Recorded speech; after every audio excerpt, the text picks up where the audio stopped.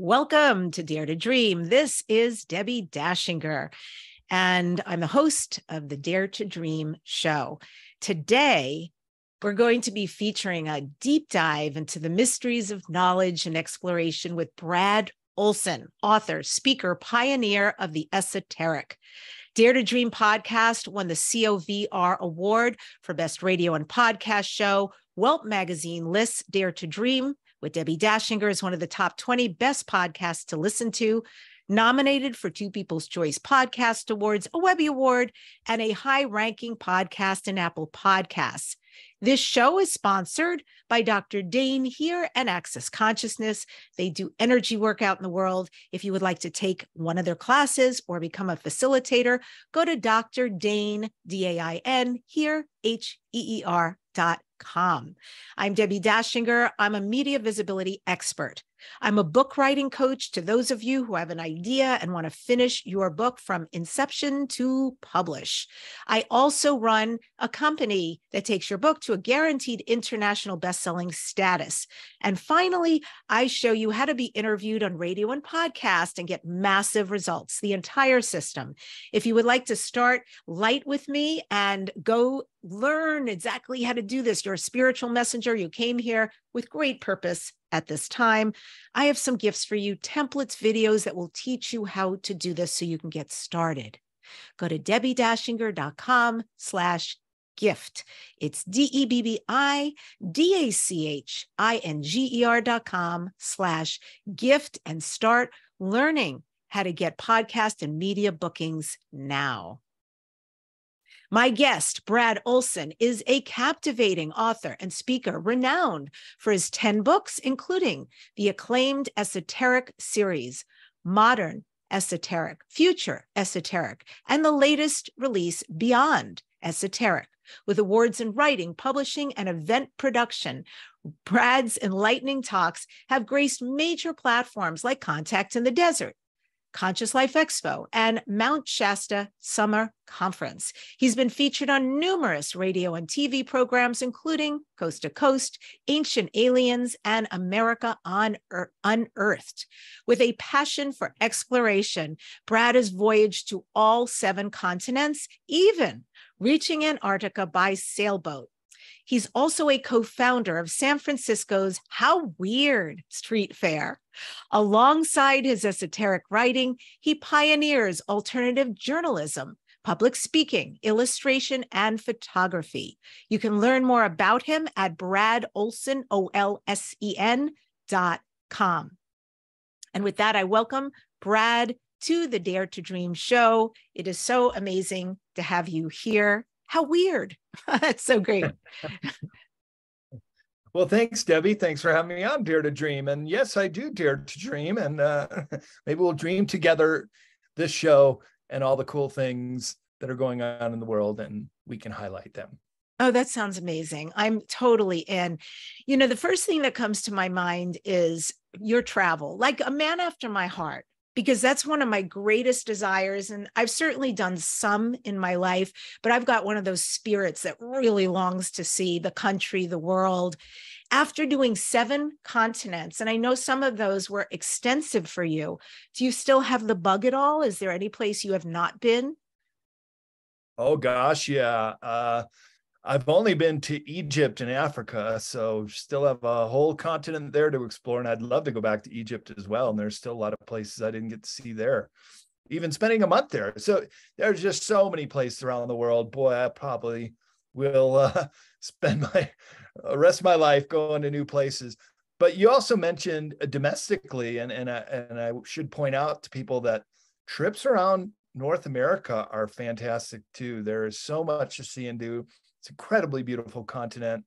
Uh, we're both on the west coast, so we know that uh, just up and down from Cabo San Lucas to Alaska is one of the most dramatic coastlines and coolest places uh, I've seen in the world. That's so true. And most people don't even know I live I live in a suburb in Los Angeles, a little bit more suburban than LA, out in the valley. When you drive up north, it's spectacular for me, I need to pass San Francisco. I need to get out of the city. And then the higher north you get, it's God's country. And you know that that trip alone to go all the way to the Oregon border, all, all the way to Vancouver, is really worthwhile. Spectacular. And right now is the time to do it. This is road trip season out west here. Uh, e- even into, uh, as you know, our Indian summer in October is really gorgeous out in mm-hmm. California. Yeah, we're very fortunate. That's such a, a New. I'm originally from New York. That's a big New York term, an Indian summer. Which, for folks who don't know, uh-huh. that just means the weather extends sometimes into October for sure here, and we keep those that summer heat going so we can have more of that. So, speaking of travels, I know that you explored ancient Peru. And yeah. I'm I just finished a Shaw six month shaman class, which was connected to the lineage of the Incas. And I'm the the Queros, and I'm deeply into it. So I'm curious about that. When you were there in Peru, were there lost technologies that you discovered and forgotten civilizations that you unearthed? Oh, yeah. Well, to give a short answer, absolutely right. I, I was there with Nassim Haramein, who's a real cutting edge new physicist, and Brien Foerster, who knew all about the elongated skulls and the megalithic complexes and how many of these giant with the elongated heads were buried right alongside many of these megalithic sites suggesting that they were the builders. And Peru, especially in the Sacred Valley, as it's called, where Cusco is and offshoot is Machu Picchu, has the most amount of megaliths per square mile than any other place on earth. There's just so many that the you, you, drive by in the bus or I, I bought a car I bought a Ford Expedition that I was camping in my partner at the time and we were just driving by. There's so many you just don't even notice them if, if you took one of those minor megalithic sites and say put it in north america it'd be the biggest national park in our country. But wow. down there there's just so many and and terraces up uh, sides of the the hills where they're they've been wild and not tended for many years. You just see that this had once been a very high civilization in this particular area called the sacred valley of peru and what did you take away from it? Did something change for you while you were there? Did you have an experience or a process that really altered you? Oh, yes. And just to uh, backtrack to your previous question about uh, lost technology, that yeah. that's really what impressed me. That mm-hmm. there was also clear evidence of the moving of these megaliths, some of which weigh 70 tons at the site of Sacsayhuaman, which is just above Cuzco in this particular area of Peru, that even cranes, modern cranes today would struggle to get them from the quarry to this site. And then the way that they are so perfectly fitted together that we started talking about ways that matter can be manipulated. And one of those that Nassim Haramein was talking about is this process called cold plasma. And it basically renders hard material such as stone into a softened stage. And he was proposing that the ancients who build many of these megalithic sites had this ability to soften the stone. And that's why you get these such precise fits with all these very odd angles that would be very, very difficult to chisel and then put into place and have such a precise fit. The other lost technology that we discussed was the movement of these megaliths. As I said, even modern cranes today would struggle to move some of these larger stones. So we were looking into the possibility that the, these ancients had a form of technology described as auditive levitation. And that's using sound and vibration to also render an object weightless. So, just as an example that I often talk about in my presentations at conferences, and I do a whole presentation on the mysteries of South America. Think about how a opera singer can shatter a wine glass with just her voice. That's only sound and and uh, vibration that does that. It, there's no uh, projectile hitting that wine glass. It's just her voice. So this is a very strong possibility that a lot of the megalithic sites, not just in Peru, Bolivia, but around the world, the blocks were moved using this technique of auditive levitation. How do you imagine that? How do you envision that? I completely understand what you're saying. And I really appreciate the fact that sound, frequency, and vibration has been around for a long time and has been used way more advanced in the past. So, how do you envision that they actually were able to use it? Was it something that came from their mouths, an instrument? Was there a technology that emitted the frequency that made it into the cold plasma, it took hard into soft, and then also was able to move it? Any clue? Sure. Well, a really good clue is a location in southern Florida, in Homestead, Florida, called the Coral Castle. And I visited that location, built single handedly by one slight figure named Ed Leedskalnin. And he single handedly built this whole megalithic complex called the Coral Castle. Some of the stones there weigh 33 tons. Other tall stones that he placed into the ground as a, a form of using as a uh, sundial are 20 feet tall. Now, how does one guy alone build such a complex? And when asked, he would only say, that he knew the secrets of how they built the Great Pyramids. And a couple times, little kids would spy on him because he would work in the middle of the night and move these megalithic stones. And they would say that he, he would hold these two uh, cone shaped objects in his hand. Perhaps they were frequency devices. Perhaps they would match the resonant frequency of the block to render it weightless because the kids would say he would do this. And although many of the blocks also had uh, levees and um, pulleys and uh, cables attached to them, but he would just move them so effortlessly and put them into place while holding these cone like objects. So there are some secrets that went to the grave with Edley Leedskalnin, but the Coral Castle is the only modern age megalithic building in the world the only one that was built in the 20th century. So it, it's kind of a lost art form, Debbi, and and I think we're slowly putting the puzzle pieces back together and getting a clear idea of how these credible megalithic buildings around the world were constructed. All right. Do you have any interest in following the rabbit hole and figuring out? Are you working with anybody who can figure this out?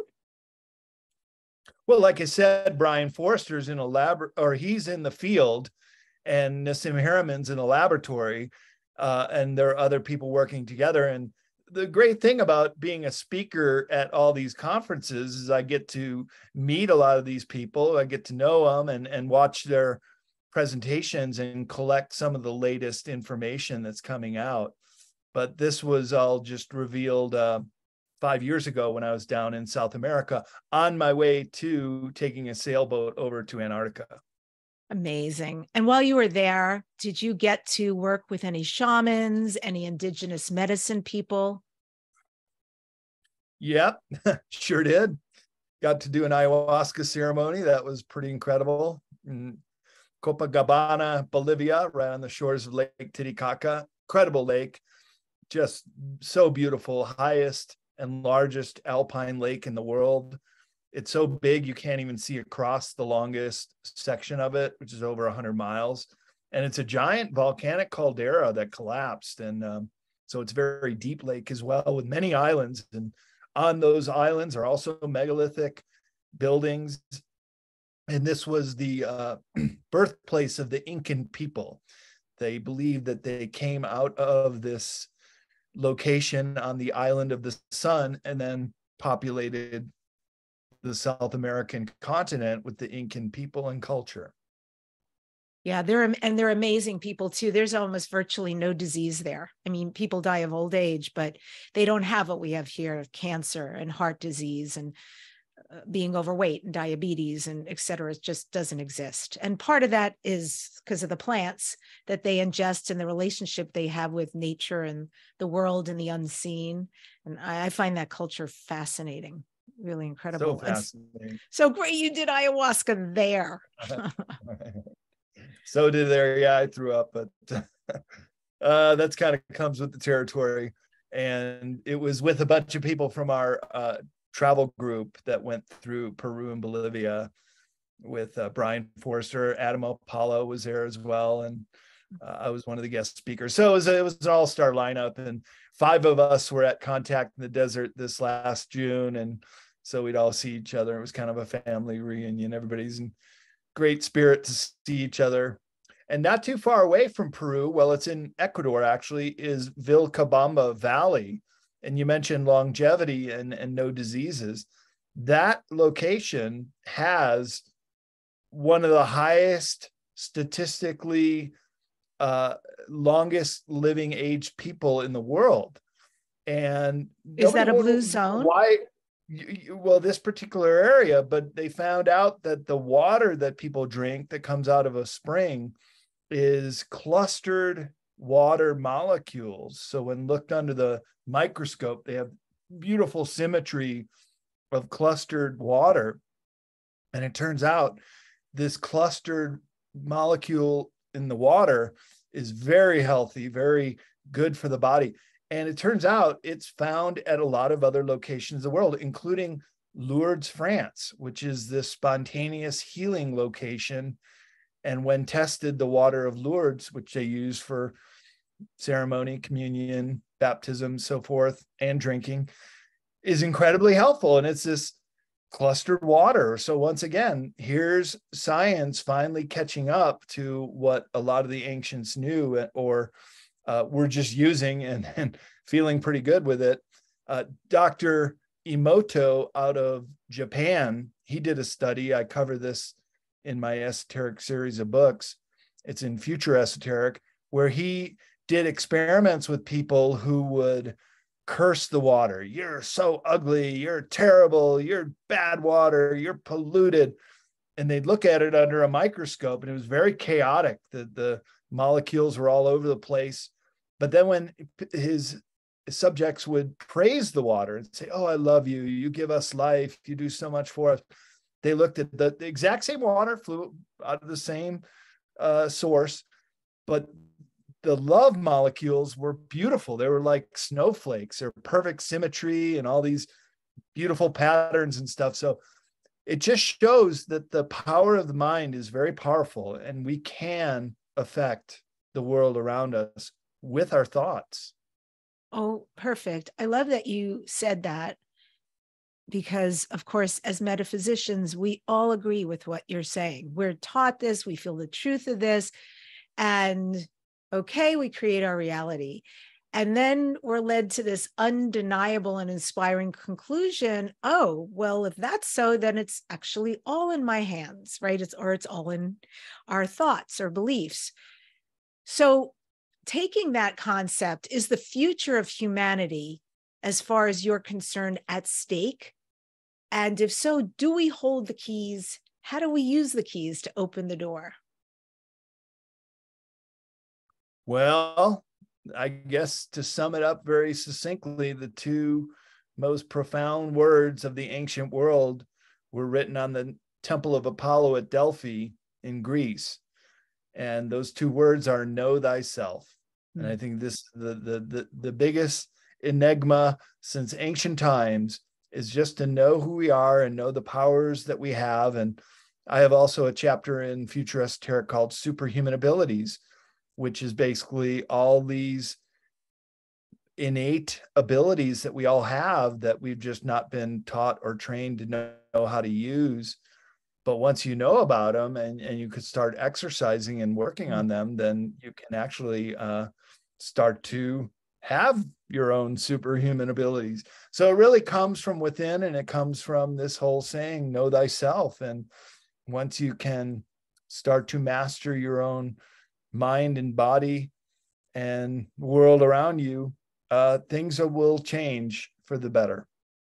what what are some of the gifts that you have what are some of the gifts that not everybody's connected to but that you are aware of in you and that you utilize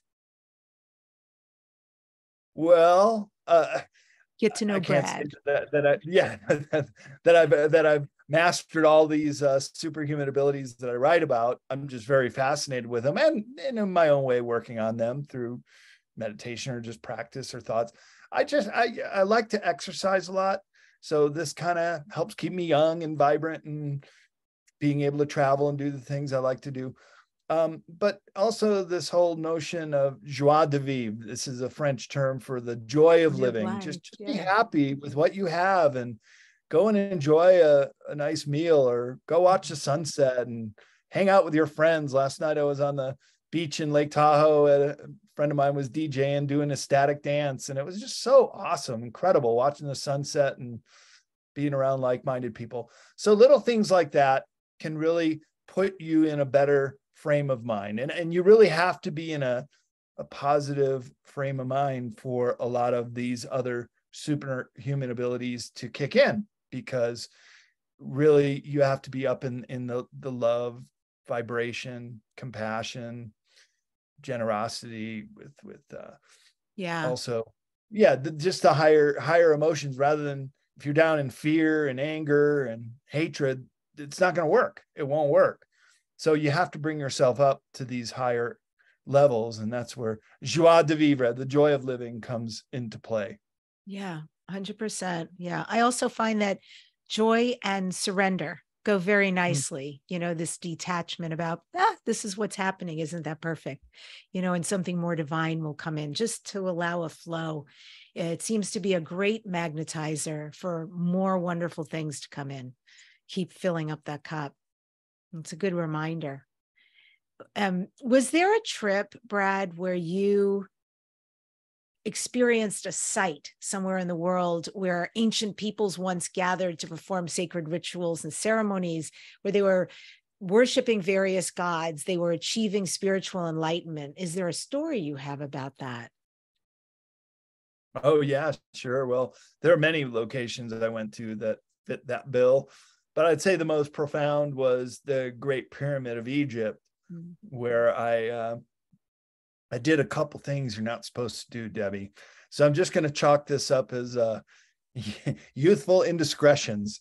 I, I climbed to the top of the Great Pyramid was one of them. You're not supposed to do that. And How did you do that? Well, so I know that there's a uh, that that the eyes are are temporarily blinded when when it goes from complete darkness to bright light. And so I went up on the Giza plateau on a full moon night. Hmm. Um, so there was enough of that light, but they were doing the sound and light show. Oh. And I with the partner I was with, I said, I really want to climb the Great Pyramid. I got to try. And so I walked around the the base of it, and at one point I tried and got shouted down, and they shamed me. What are you doing? Didn't you see the signs? Get out of here! Like, All right, sorry. Started walking around, and then they stopped following me, and they thought I was just beelining back down the way I came in. And I looked around, and there's no one watching me directly. So I went back up to the pyramid, and right at that moment, the sound and light show, which had been bright light on the Great Pyramid, the light went off. I was like, this is my opportunity. And I just started scrambling up the, the blocks. And they're about as big as a uh, washing machine. And I'm a real tall guy with long legs. So it wasn't a problem for me to go one to one to one to one. And then so about one third of the way up, the lights came on again. And I just kind of tucked away in one of the shadows and didn't hear anybody shouting me down. And then lights went off again and I made it up two thirds of the way. And then after the oh time I made it to the top. Yeah, it was incredible.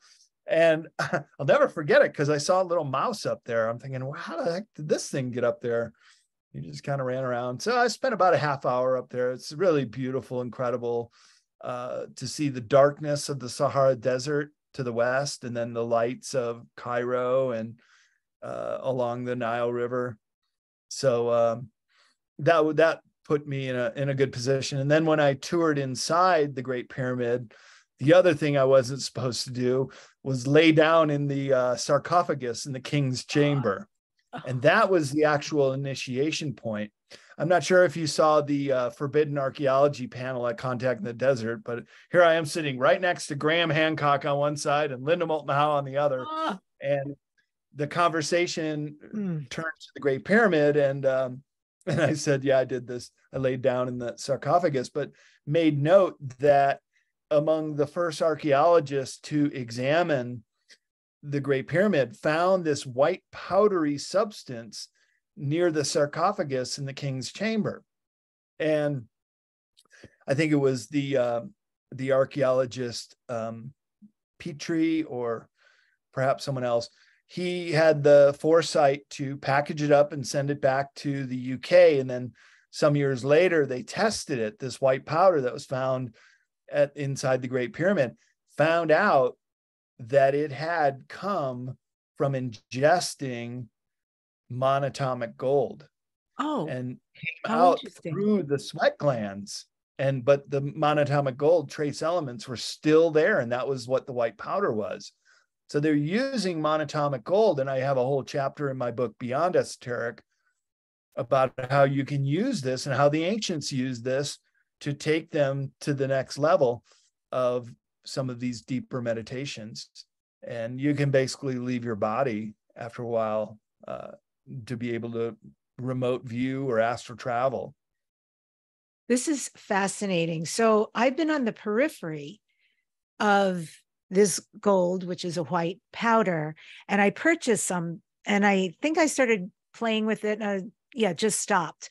You know, you have so many healthy things around. But more right. recently, I would say the last three months, every time I've got this amazing healthy smoothie I make. And now every time I make it, along with all the incredible ingredients in there, I have been sprinkling the monatomic gold in it. Oh. And so tell us more about what we can do with this, how it assists the body. And it sounds like also spiritually, how we can play with it. Yeah, I've I've tried some too. I don't think I got to that state where I could consciously leave my body with it, but perhaps you have to do it more frequently and um, more rigorous, different kind of training that go along with it that the ancients once used.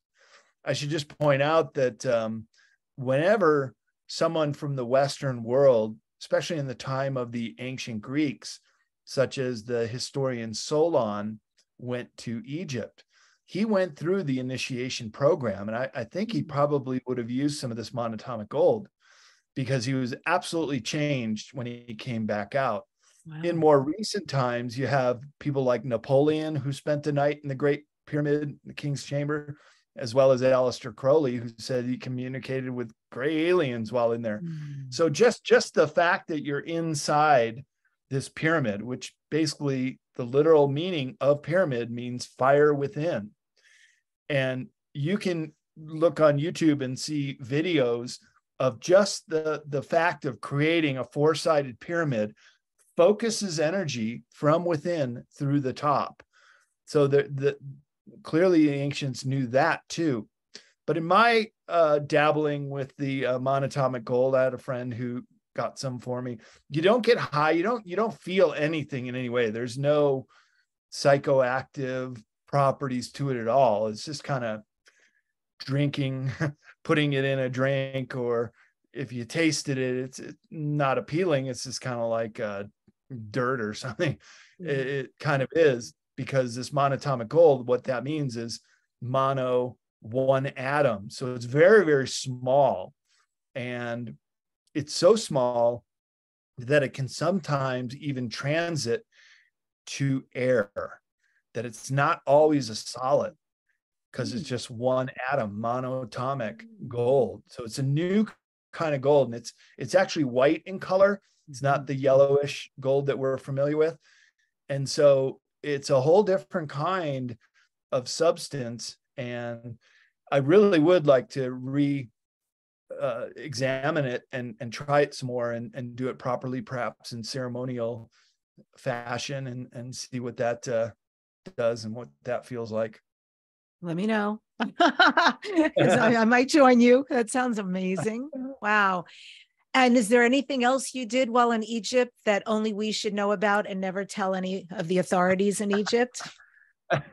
well, that was back in 1993. So I think I got the statute of limitations behind me. But well, another cool thing I did was I rode a horse from the Giza Plateau down to Saqqara. Which is step pyramid about 25, 30 miles away. It was a pretty good mm-hmm. hike. Mm-hmm. We were both pretty uh, saddle uh, worn when we got back from that trip. But I tell you, along the way, Debbie, we we saw uh, all kind of different pyramids uh, including the bent pyramid, which is just clearly built in an inferior fashion. You look back and you look at the Great Pyramids, and they're just so symmetrical. They're so perfectly formed. And then other it's pyramids, Fibonacci, the isn't it? They yeah, use fib- right. well, what we know as Fibonacci, but yes, okay. There are other pyramids that are just rubble piles.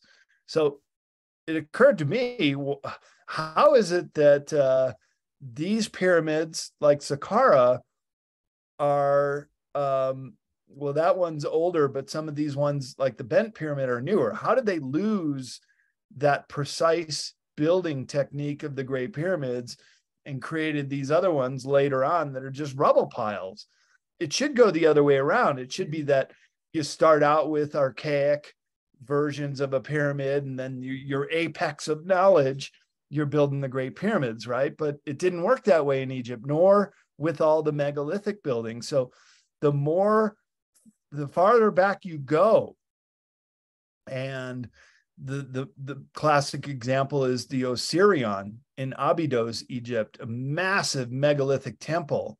Mm. That's the one that has what look like uh, flying machines or submarines or helicopters in the hieroglyphic carved into the stone, as well as the flower of life, that motif with the 64 petals, the sacred geometry, not carved, not painted, but laser etched into the stone using some kind of high technology to put it in there. And I've got an image of it and a description in my book, Modern Esoteric, that goes into a lot more detail of Abydos and some of these, but that being one of the oldest temples in Egypt. So once again, the older you are in Egypt, the more megalithic and the more precise in the building and the more mysteries as far as the carvings go. So Egypt is, is really a major enigma on this planet where they got the technology so early on.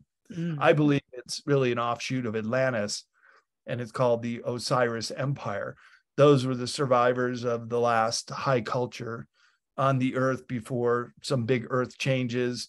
We've heard about it with Noah and the flood, but uh, modern geographer and geologists would describe it as a pole shift when the continents actually move, plate tectonics. And this is a world changing event which completely redraws the map of the continents. Some rise, some fall, and then others change their characteristics altogether. So this happens more frequently on planet Earth than a lot of people are aware of. Only every 20 or 30,000 years. Mm-hmm. So we could be getting ready for another one.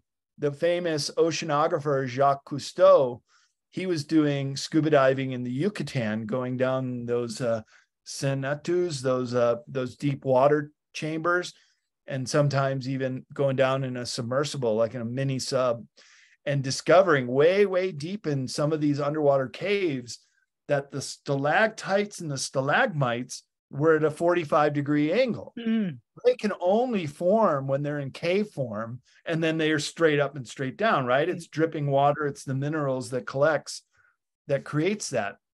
So when Jacques Cousteau found these at a 45 degree angle, he said this is evidence that there was pole shift and that it shifted the ground so created that 45 degree angle mm-hmm. and flooded those caves that uh, would have normally had to have been dry to create the stalactites and stalagmites so yeah. there's a lot of evidence around the world that that this does occur fairly recently i followed you mentioned graham hancock and i followed his series that was recently on netflix which was I thought amazing. And I love that he bucks up against conventional archaeology and you know, he's a voice for now.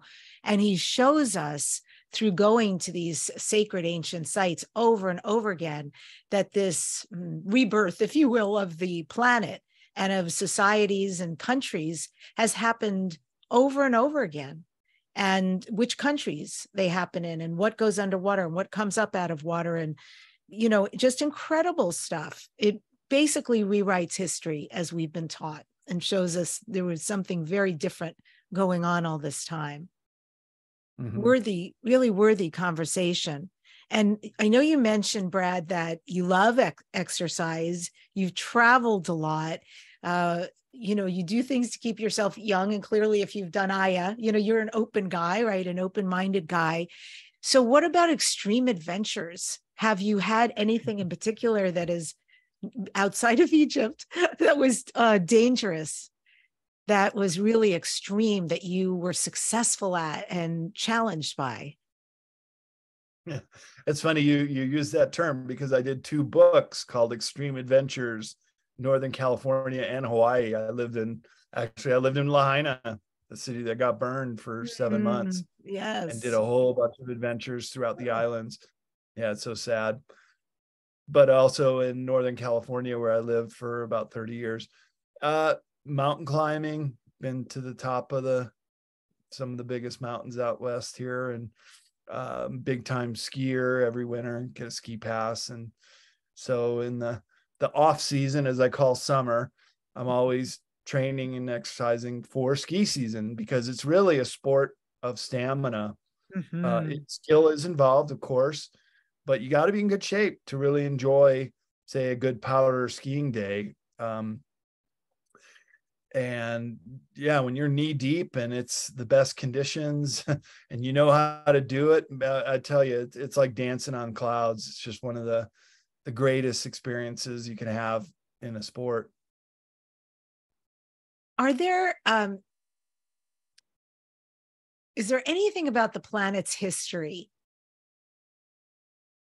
that really reflects what's happening currently. Any events about this subject that is coming up yet again or influencing yet again what is happening today? Hmm. Well, a lot of people don't know that there's a new Hawaiian island being formed to the south of the Big Island in Hawaii.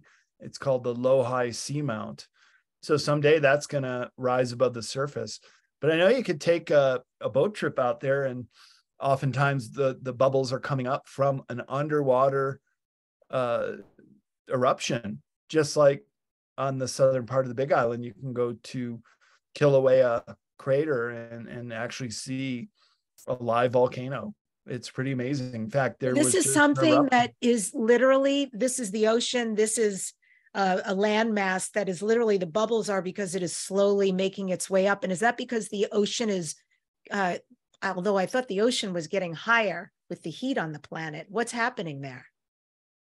It's not really. I, I was just living in uh, Santa Cruz, where the famous beach boardwalk is, and it's, it's, there's ocean levels exactly the same. Hmm. Uh, what's going on in Hawaii, they call it the hot spot. It's one particular area in the middle of the North Pacific that is always erupting. And as the plates, the tectonic plates move, that takes the Hawaiian Islands out on that trajectory. And even beyond mm.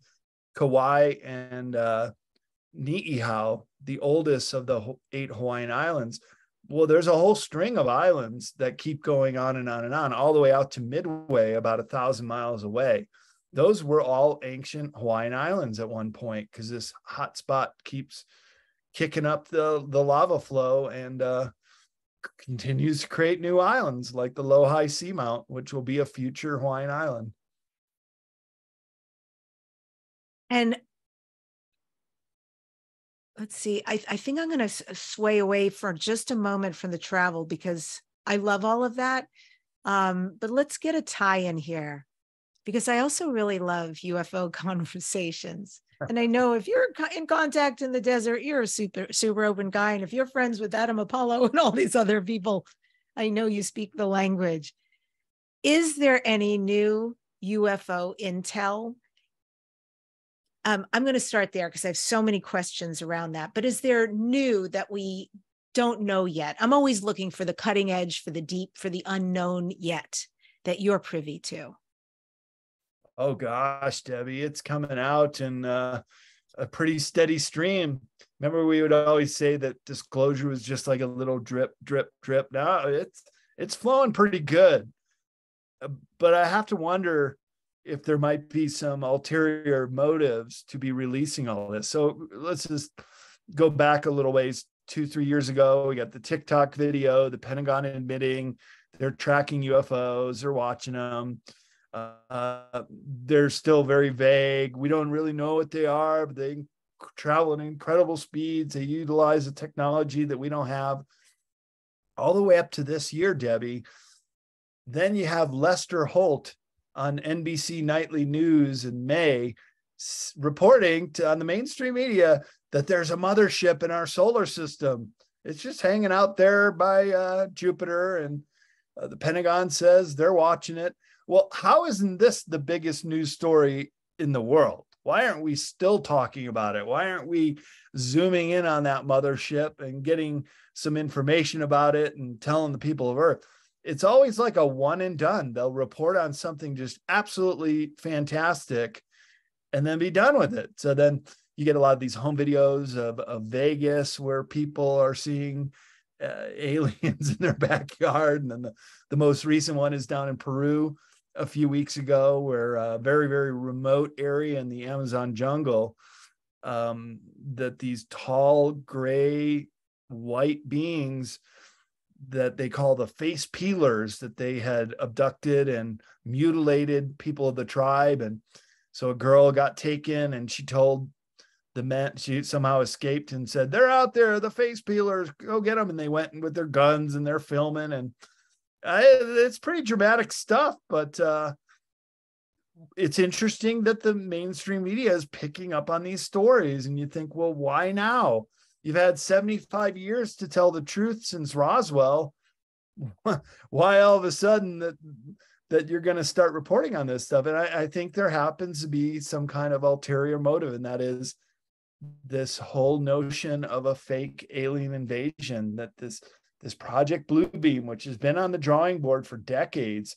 Even Wernher von Braun, one of the Nazi paperclip scientists that got brought over here after World War II, told his assistant Carol Rosin that the final play before a new world order, a global government, global currency, even a one world religion, and all that stuff is starting to come out right now, Debbie. And it just makes me think that the media reporting on this now is predictive programming, that they're putting it into people's minds. They're desensitizing the people so that if they did do this, this fake alien invasion, like Wernher von Braun said, it's fake and it'll always be fake. And you got to tell people that uh, that they're going to make this play someday. And there was also a CIA agent way back in the late 1980s. I, I, wish I would save that video or remember this guy's name, but at the end, he's in a playground. If you saw it, you probably remember it. And he's like, I wish I could tell all these little kids the future that they have planned coming for them. They don't know what's going on. But he predicted Project Bluebeam in 2024. So that's only a couple months away. And it seems like everything that's going on in the world right now is also a setup for this fake alien invasion, anything pertaining to UFO disclosure, uh, especially as it comes through the MSM.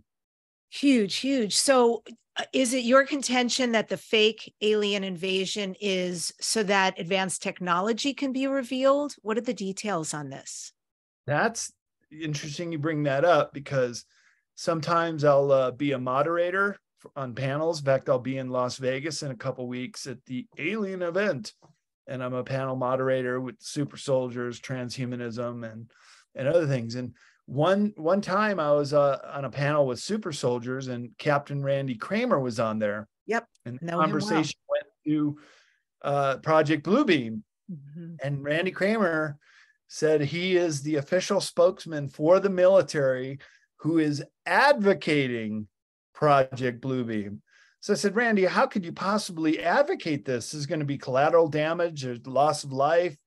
Uh, he said, but we have so much technology now that has been gleaned through backward engineering.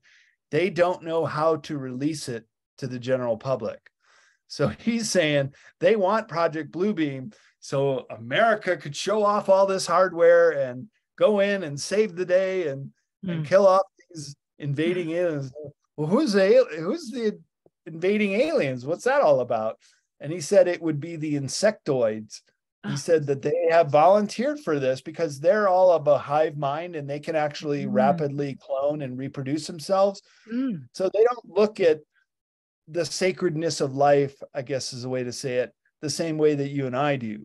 Mm. They just like, oh yeah, if if we get blown up in a fake alien invasion kind of scenario, we'll just be reborn again through the hive, and it's not a big deal. So so if if we roll out all our high technology, if we have this war with the insectoids and oh, it'd be very realistic. Some of them will be actual battles and blowing up ships.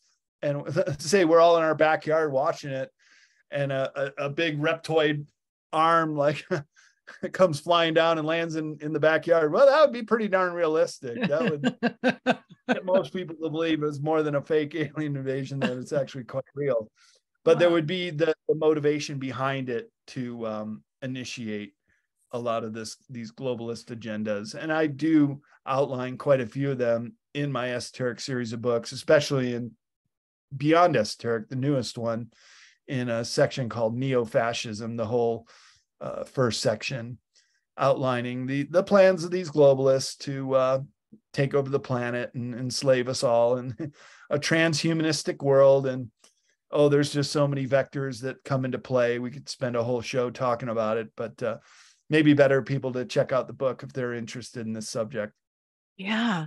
So in light of all of that assuming that is all absolutely accurate then how would we distinguish the fake aliens and technology, not technology, but how would we distinguish the fake from the genuine, the real UFOs, the real extraterrestrials? In fact, the benevolent extraterrestrials, because we do have star nations, star brothers and sisters who love us, protect us, and look after us, and that we're actually related to, right? So, what, what's the discernment there?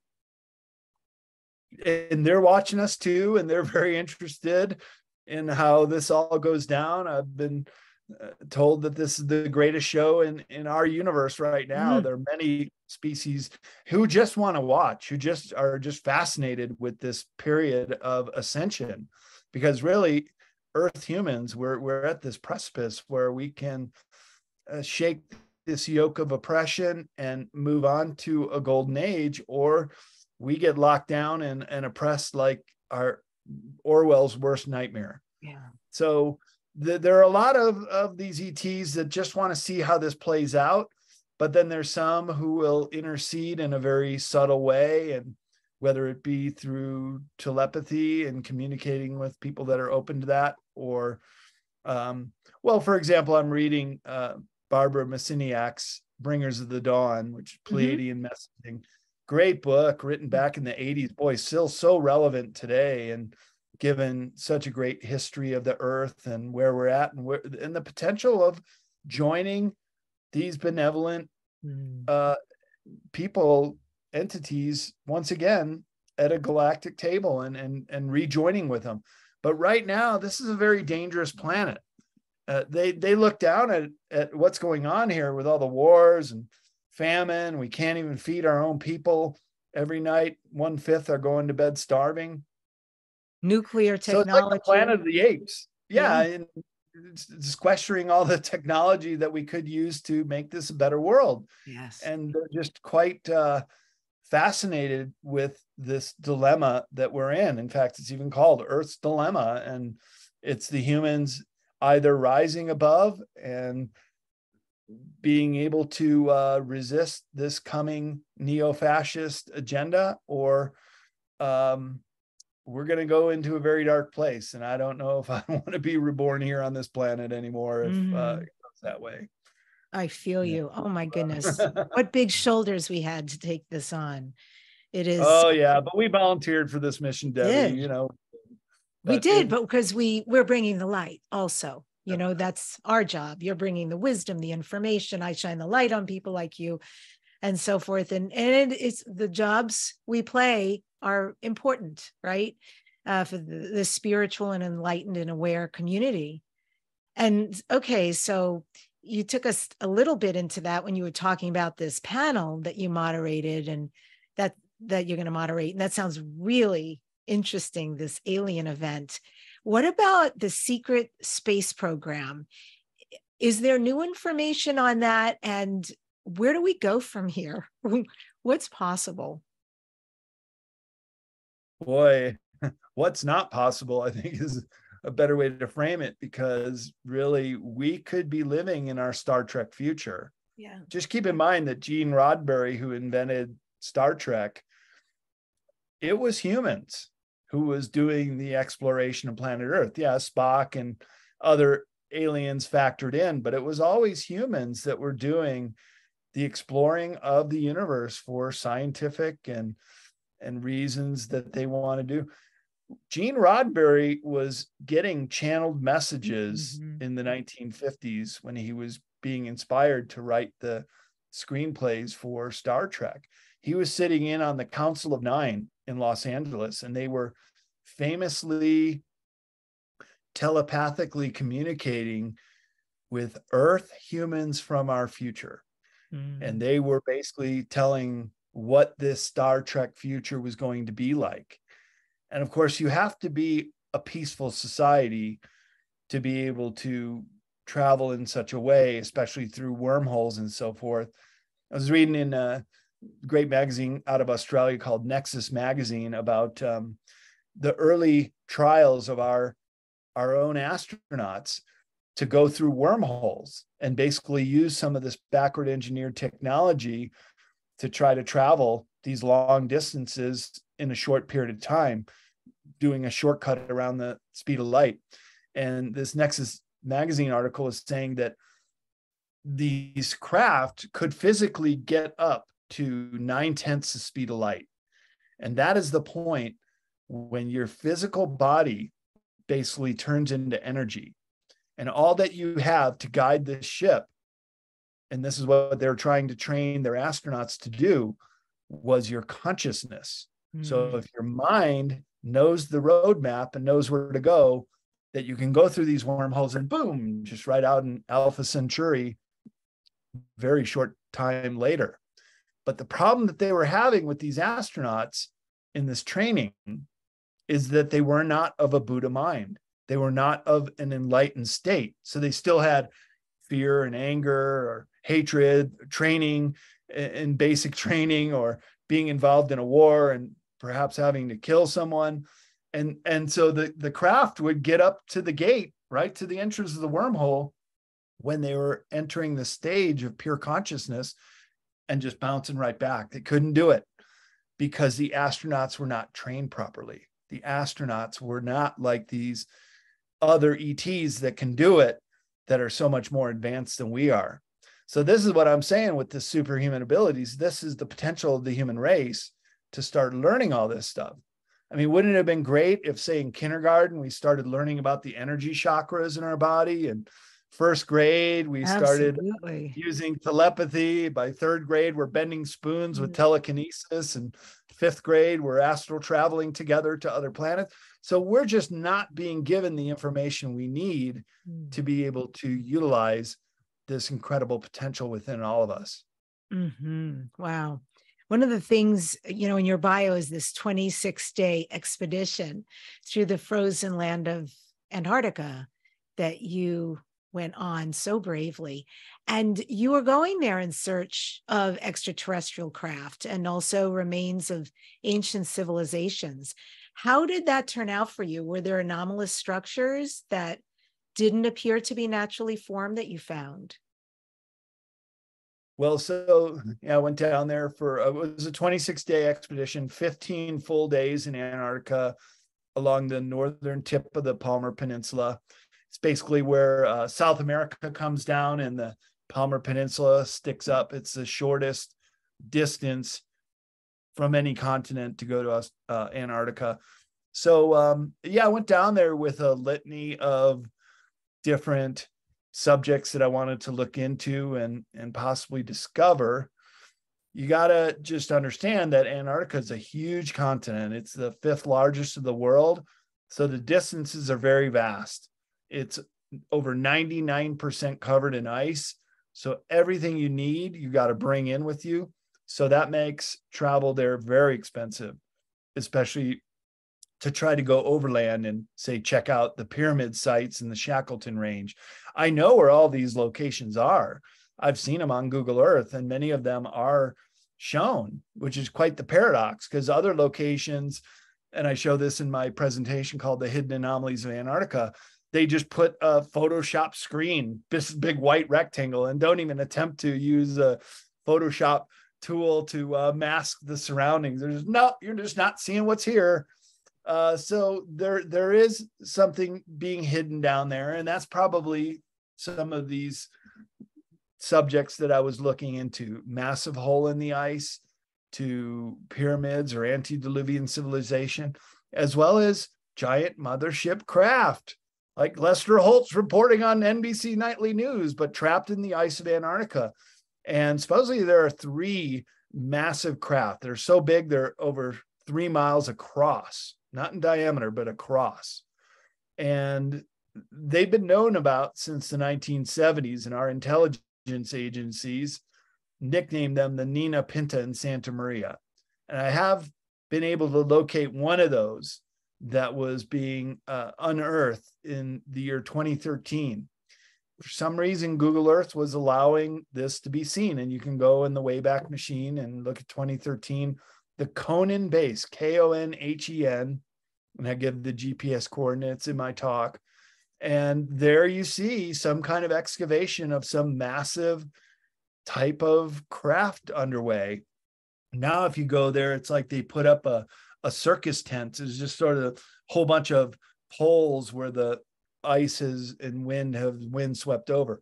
But in 2013, they're digging something out. And uh, th- this has been known about for quite some time. In fact, I would even venture to say that the Nazis went to New Schwabenland and claimed this particular area because they saw this craft under the ice. And I just love it when I can get uh, connecting data points. And in this case, the Farsight Institute, which are remote viewers that can pick a target or use a GPS location and just go there, travel there with their minds and they went into this craft and said, "Oh, it's massive. It was built for very, very tall, giant-like uh, entities. It's old. It's decrepit. It can't fly again. But it is this relic. It's one of the Nina Pinta and Santa Marias. And so, in an indirect way, I didn't get to go there. I would love to go there, um, but in an indirect way, I've been discovering some of these hidden anomalies in Antarctica. Yes, and I'm aware of what you're referring to that um, during Nazi Germany, it, you know, I've followed a lot of that history that shows that they were using alien technology, they were building craft, they were going to use it.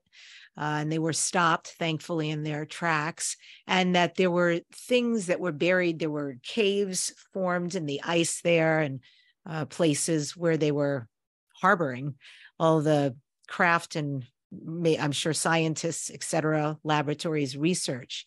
So the things that you discovered, Brad, was that beyond, way beyond the Germanic craft, that th- these were also actually indigenous alien craft. Well, if you want to call indigenous of Earth being an alien craft, but they have been on yeah. quite some time. Yeah. Yeah, and I would love to get out and see it. And I have an idea where the other two are. One of which is Linda Moulton Howe and her whistleblowers put it in the uh, Beardmore Glacier area. Spartan one and two, and Brian S., who was doing flights to South Pole from uh, McMurdo Station. He also reported seeing the massive hole uh, under the ice, not too far away from the Amundsen Scott South Pole Station. Any uh, important secret agendas happening on the planet right now that we should be aware of that we would, should we know about them, want to escape their confines, want to wake up to our individual and our collective potential instead? Oh boy, how many agendas are there? So many. Uh, the, the, there's just agenda after agenda because each extraterrestrial group has their own agenda too, and some of which are very dependent on Earth as a healthy living system.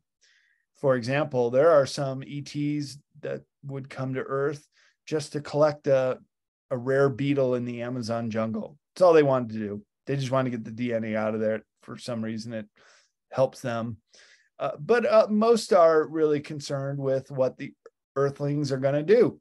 So, for example, when we detonated our very first atomic bombs, that was a warning bell that rang throughout our universe. And a lot of extraterrestrials came here to see what was up. Wow. Okay. They're like children that found a pack of matches in a very dry forest and they're lighting the matches and throwing them around how soon until a disaster strikes.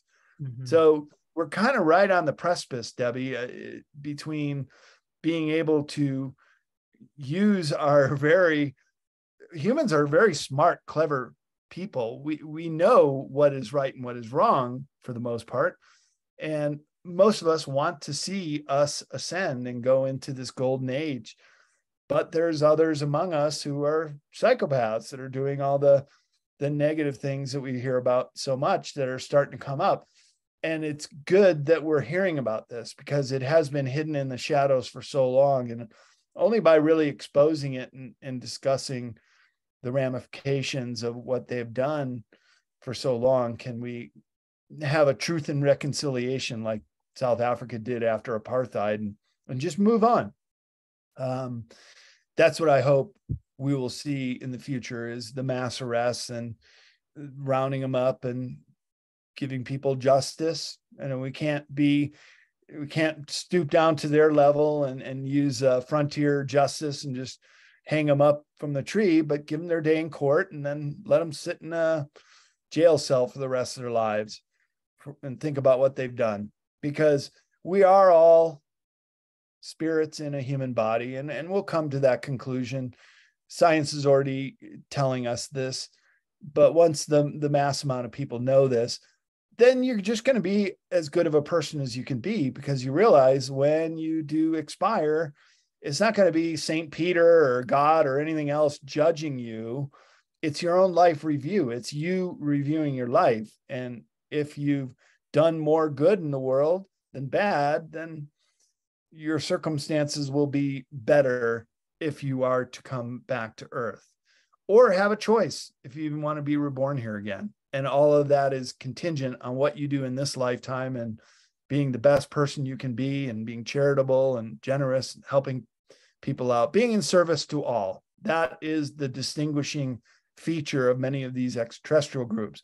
Some are in service to self and they have an agenda and they're the ones doing the abductions and the cattle mutilations and things like that but most are in service to all. But they don't want to directly interfere with the earth. That would go against this prime directive that was also popularized in Star Trek, but it is a real universal law and that when you have an evolving civilization such as Earth, uh, you got to let it evolve on its own. Let the free will people of the planet make their own decisions. Exactly. And that's where we find ourselves at right now. Mm-hmm.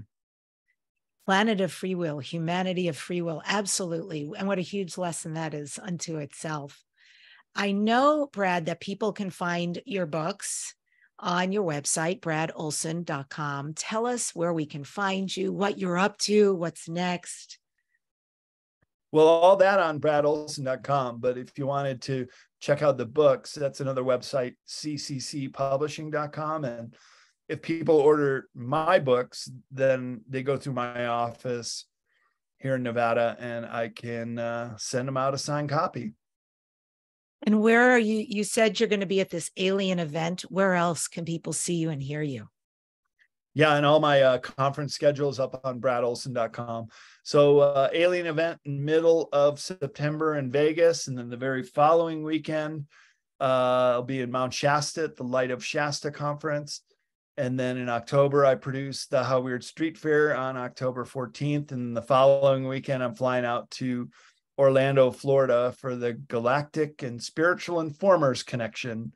Great big event with uh, Alex Collier, Michael Salla, Elena Danaan, and quite a few other luminaries in the field. I'm very honored to be asked to speak there again. That's beautiful. Well, Brad, this is Dare to Dream. What are you next year to Dream? What are your future dreams and goals?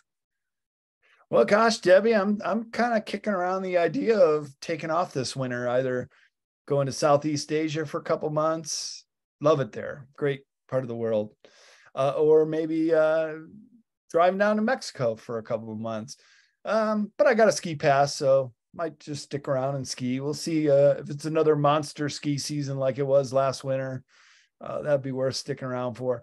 But so I'm just developing a ranch that I bought out here in northwestern Nevada and and working on that. So I'm daring to dream that I'll put in a tiny home village and start doing uh, some conferences and small events, festivals on my own in a couple oh. years' time when, uh, when it builds up. So that's what I'm daring to dream.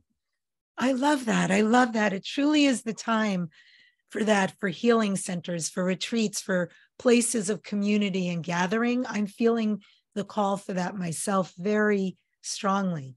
So, mm. yeah, I send you lots of blessings on developing that land and making it into what you really want, what will serve you and whomever comes your way. Thank you so much for coming on the show and for all that you shared. It's beautiful to connect with you. Oh, well, thanks for having me on, Debbi. It was great to connect with you too. And next time you come to the conference, and if I'm swarmed at my table, just uh, make your way through and I'll I'll grab you and take you behind the table and we'll get to hang out. Oh, I would love that. I promise to do that next time. I won't just look from afar because we do end up at a lot of the same events. So that yeah. is a deal. And again, folks, you can find him at Brad Olsen, O L S E N dot com or CC Publishing to get his books. It is worth it. I've read all the reviews, they're phenomenal. And I end today's show with this quote Through journeys of travel and exploration, we unveil the spiritual tapestry of the esoteric unknown, finding that even in the depths of the universe's mysteries, we are the true UFOs, seeking the extraordinary within ourselves. Subscribe to this number one transformation conversation, the weekly Dare to Dream podcast with Debbi Dachinger. Please leave a comment, share this, and you know I read them all and get back to you. Next week on the show, the guest is the amazing Dr. Brad Nelson, and we're going to be discussing one of his many books, The Energy codes. Thank you, folks, for joining us today. And remember, don't just dare to dream, dare to turn all your dreams into your reality.